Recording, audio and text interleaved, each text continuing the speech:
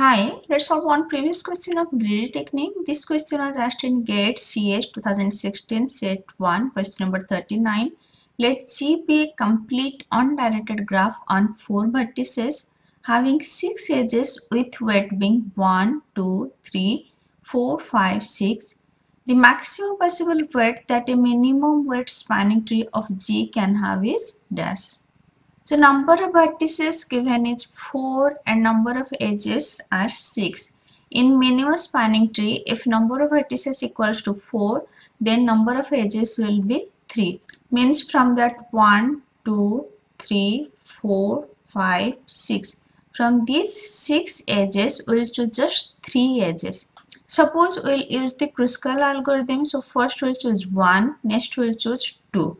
Then we may skip weight 3 if it is creating cycle and we may choose weight 4. In 2 edge, we cannot create cycle. For cycle, at least we need 3 edge. So 1, 2 will choose, 3 we may skip and we will choose 4. So maximum possible weight of minimum spanning tree will be 1 plus 2 plus 4 equals to 7.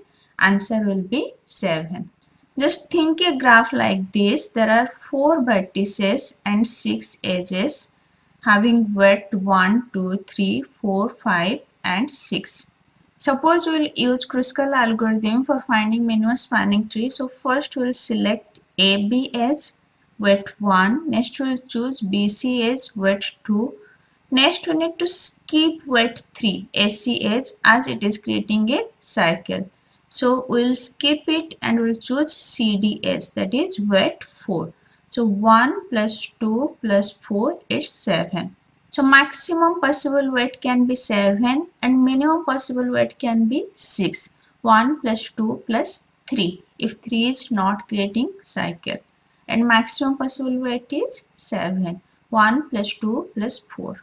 I already discussed minimum spanning tree just go through that. And if this lecture is helpful for you please like subscribe and share. Thank you